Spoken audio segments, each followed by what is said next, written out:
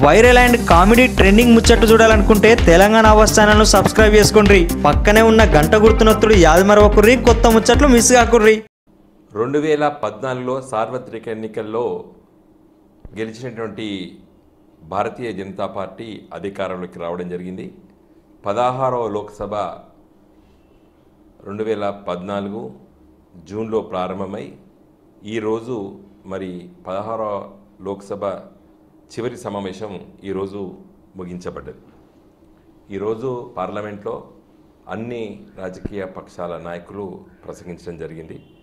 Speaker Sumitra Mahajan గారు ఒక senior పార్లమెంటేరియను సభను మరి నిరసనల మధ్య పలు ఆందోళనల మధ్య సభను సజీవుగా నడిపి దాదాపు రెండు వందల బిల్లులను మరి చట్టాలు చేసినటువంటి సభ పదహారవ లోక్సభ.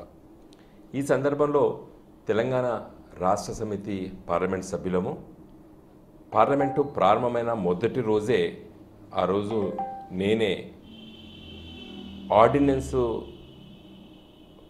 తీసుకొచ్చి తెలంగాణ రాష్ట్రంలో ఉన్నటువంటి ఏడు మండలాలని ఆంధ్రప్రదేశ్ రాష్ట్రంలో ఆ రోజు కలపడం జరిగింది. చంద్రబాబు నాయుడు గారి ప్రోద్బల్యం వల్ల ఆనాడు మోడీ గారి మొదటి కేబినెట్ సమావేశంలో ఏడు మండలాలు తీసేశారు తెలంగాణ రాష్ట్రం నుండి దాన్ని మేము పెద్ద ఎత్తున పార్లమెంటు మొదటి రోజే పదహారవ లోక్సభ మొదటి రోజే పెద్ద ఎత్తున నిరసనల మధ్య సభ వాయిదా కూడా పడ్డది ఆ రోజు మా నిరసనల మధ్య.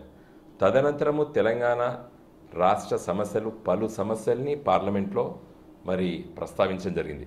కొన్ని సందర్భాల్లో పట పార్లమెంట్లో మరి అటు అధికార పక్షాన్ని ఇటు ప్రతిపక్ష మిగతా పార్టీలని ఒప్పించి తెలంగాణ సమస్యలను లేవనెత్తడం జరిగింది. దాంట్లో మొదటి వరుసలో ఉన్నది తెలంగాణ రాష్ట్రానికి ప్రత్యేక హైకోర్టు కావాలని. అది దాదాపు రెండు మూడు సంవత్సరాల సుదీర్ఘంగా మేము పోరాటం చేయడం జరిగింది. మరి రెండు వేల పద్నాలుగు ఫిబ్రవరిలో ఆంధ్రప్రదేశ్ రాష్ట్ర విభజన చట్టంలో రెండు రాష్ట్రాలకి రెండు హైకోర్టులు ఉంటాయని చెప్పారు. కానీ కొంత సమయం వరకు ఉమ్మడి హైకోర్టు ఉంటుందని చెప్పారు. సమయం ఎంతవరకు అనేది పొందపరచకపోవడం వల్ల మరి సీమాంధ్ర రాజకీయ నాయకుల్ని మనం తప్పుపట్టాలన్న వలసిన అవసరం ఉంది ఈరోజు. ఎందుకంటే వాళ్ళు ఆ ఆసరా తీసుకొని మరి రాష్ట్ర హైకోర్టు విభజనను వాయిదా వేస్తూ వచ్చారు. కాబట్టి మేము నిరసన తెలియక తప్పలేదు. ఒత్తిడి చేసి మళ్ళీ చివరిగా సుప్రీంకోర్టులో కేసు వేసి మరి రాజ్యాంగం చెప్తుంది ప్రతి రాష్ట్రానికి ఒక హైకోర్టు ఉండాలని చెప్పి మేము ఒప్పించి మరి చివరిగా తెలంగాణ రాష్ట్రానికి ఒక ప్రత్యేక హైకోర్టును సాధించడం జరిగింది. అదేవిధంగా పలు సమస్యలపైన మరి పార్లమెంట్లో మరి ఎఫ్ఆర్బిఎం లిమిట్స్ పెంచాలని చెప్పి తెలంగాణ రాష్ట్రం చిన్న రాష్ట్రము అప్పులు తీసుకోవాల్సిన అవసరం ఉంది. మీరు నియంత్రించడం వల్ల మంచిది కాదని చెప్పి నిరసనల మధ్య మేము పార్లమెంట్లో ప్రభుత్వాన్ని ఒప్పించగలిగినాం. ఇదే సందర్భంలో మరి ఇటు కాళేశ్వరము అటు పాలమూరు ఎత్తిపోత పథకాలకి ప్రాజెక్టులకి మరి అనుమతులు సాధించడంలో కూడా మేము పార్లమెంట్లో లేవనెత్తడం పలు సందర్భాల పట తర్వాత ప్రభుత్వ దగ్గరికి మంత్రుల దగ్గరికి వెళ్ళి సాధించడం జరిగింది. కాబట్టి తెలంగాణ రాష్ట్ర ఎంపీలము పార్లమెంట్లో అవసరం ఉన్నప్పుడు పెద్ద ఎత్తున నిరసన తెలియజేశాం లోక్సభను స్తంభింపజేశాం కొన్ని సాధించుకున్నాం. కొన్ని సందర్భాల్లో పట మంచి చట్టాలు వచ్చినప్పుడు పూర్తి స్థాయిలో మరి అలాంటి చట్టాలకి మేము మద్దతు కూడా ఇచ్చాం పార్లమెంట్లో. కాబట్టి ఒక బాధ్యతాయుతమైనటువంటి పార్లమెంట్ సభ్యులుగా టీఆర్ఎస్ పార్లమెంట్ సభ్యులేమో ఈ ఐదు సంవత్సరాలు పార్లమెంట్లో పదహారో లోక్సభలో మా ప్రవర్తనను కూడా ఈరోజు అందరూ కూడా అభినందించారు. కాబట్టి ఈ తెలంగాణ రాష్ట్రం వచ్చిన సందర్భంలో ఆ చట్టంలో కొన్ని లేని సమస్యలను కూడా మేము లేవనెత్తి సాధించుకున్నాం. All India institute of medical sciences. చట్టం విభజన చట్టం కేవలం ఆంధ్ర ప్రాంతానికే ఎయిమ్స్ని ఇచ్చింది తెలంగాణ రాష్ట్రానికి ఇవ్వలేదు.